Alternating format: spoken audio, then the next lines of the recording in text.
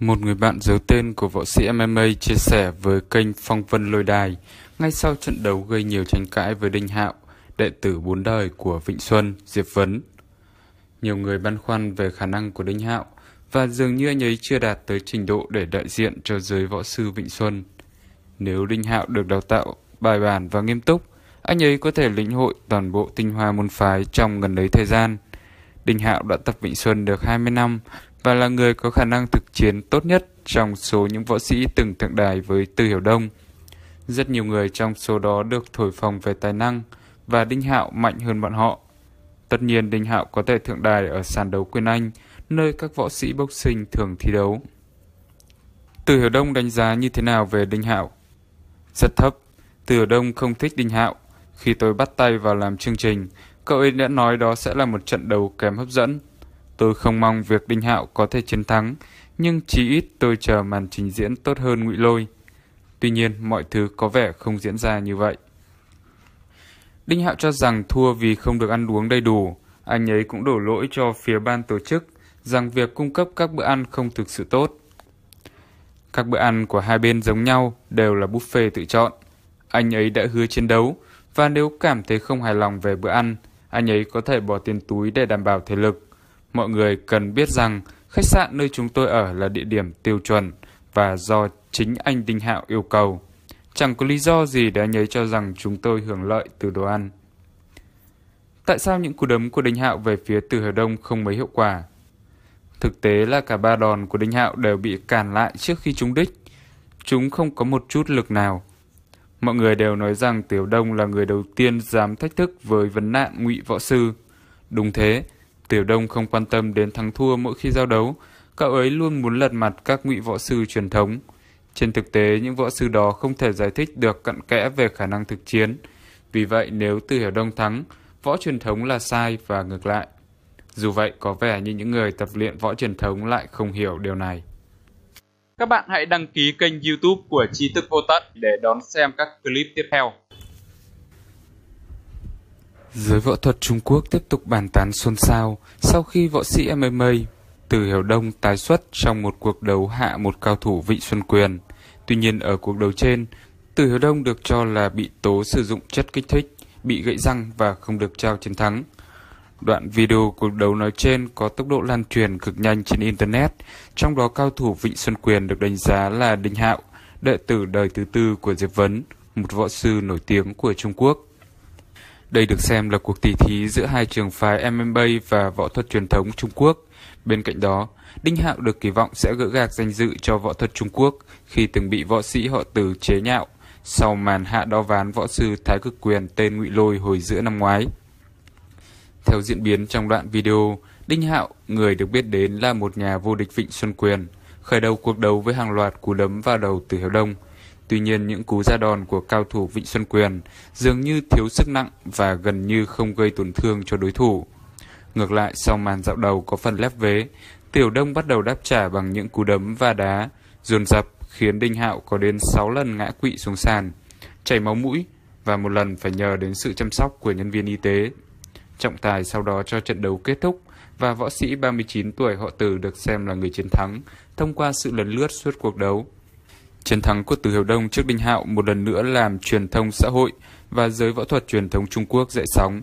Nhiều ý kiến bàn tán xung quanh việc tại sao một võ sĩ MMA nghiệp dư như Từ Hiểu Đông lại liên tiếp đánh gục các võ sư của các môn phái võ thuật Trung Quốc. Giới võ thuật của quốc gia này càng hậm hực hơn sau trận thắng ngụy lôi năm ngoái. Võ sĩ họ Từ từng cao ngạo chê bai võ thuật truyền thống Trung Quốc chỉ còn là hư danh, phục vụ phim ảnh, biểu diễn – còn võ sư các môn phái hầu hết là giả mạo. Tuy vậy, sau cuộc đấu, một số thông tin càng làm cho cái tên Từ Hiểu Đông nổi như cồn. Theo website The China Post, ngay sau khi trận đấu kết thúc, Đinh Hạo hét lên rằng Từ Hiểu Đông cũng chảy máu, tôi nghi ngờ anh ta sử dụng chất kích thích. Từ Hiểu Đông lập tức đáp lại, tôi đánh bại anh một lần, nhưng lần thứ hai anh có thể giành chiến thắng. Tôi chấp nhận lời thách đấu bất kỳ lúc nào. Trong khi đó, một số luồng thông tin tiết lộ rằng, trên thực tế do không mang niềng răng, võ sĩ họ Từ đến từ Bắc Kinh đã có thể bị gãy răng ở loạt đòn tấn công của Đinh Hạo ở những giây đầu cuộc đấu. Điều này được chứng minh là miệng Từ Hiểu Đông bị sưng, và điều gây tranh cãi hơn là trọng tài sau đó đã không công nhận người thắng mà quyết định cuộc đấu có kết quả hòa.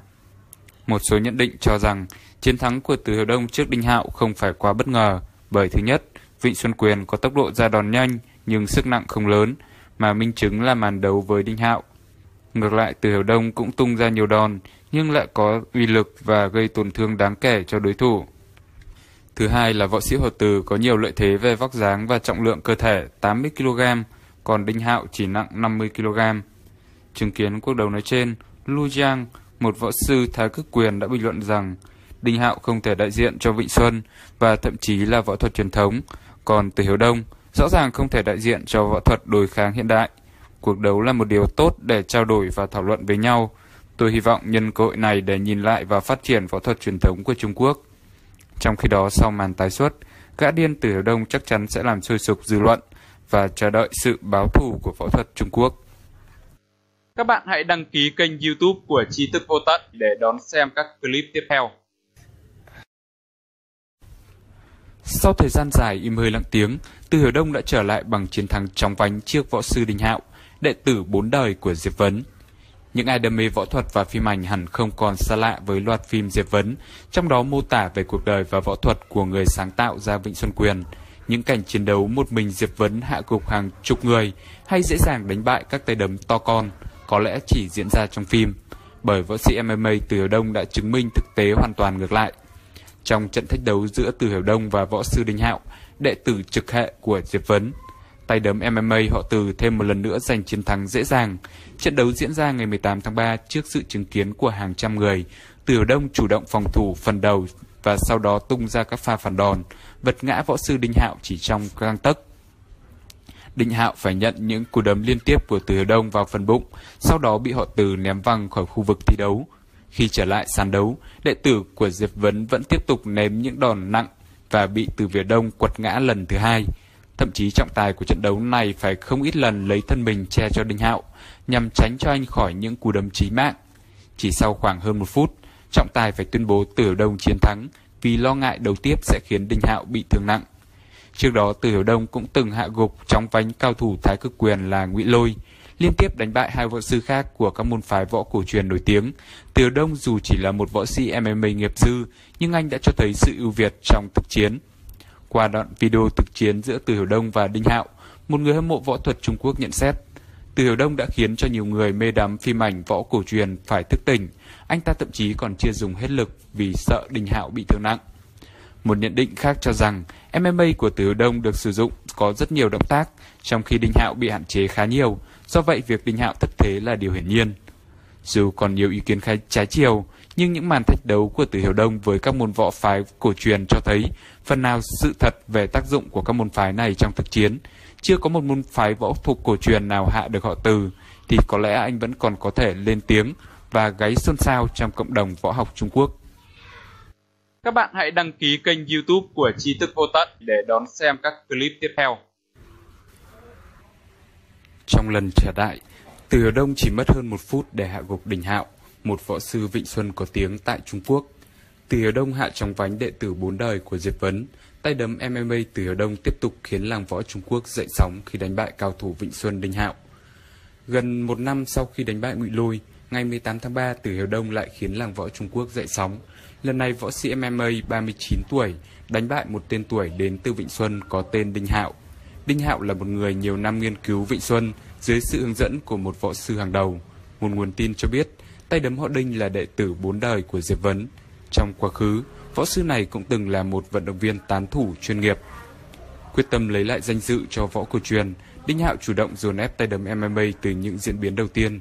Dù vậy, những đường quyền của cao thủ Vịnh Xuân không mang lại hiệu quả và võ sư này nhanh chóng tối mặt bởi phản đòn tấn công của đối thủ. Cả trận từ Hiểu Đông có 3 lần vật ngã và 3 lần hạ knock out Đình Hạo.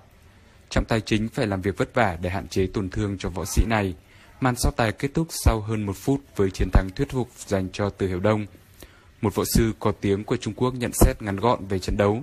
Cần cảm ơn trọng tài. Nếu đây là một màn thực chiến, Đinh Hạo có thể đã mất mạng. Thất bại của Đinh Hạo thêm một lần nữa đặt ra câu hỏi về tính thực chiến của võ thuật cổ truyền, bất chấp việc thua kém đối thủ khoảng 10 kg.